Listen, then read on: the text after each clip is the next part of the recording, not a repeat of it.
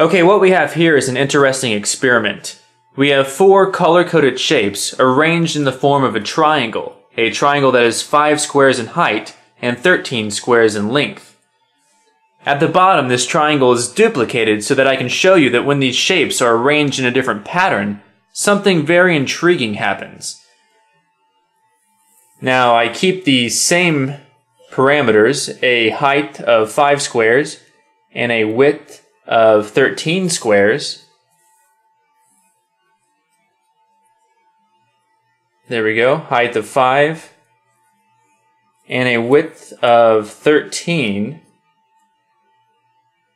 But what you'll notice is now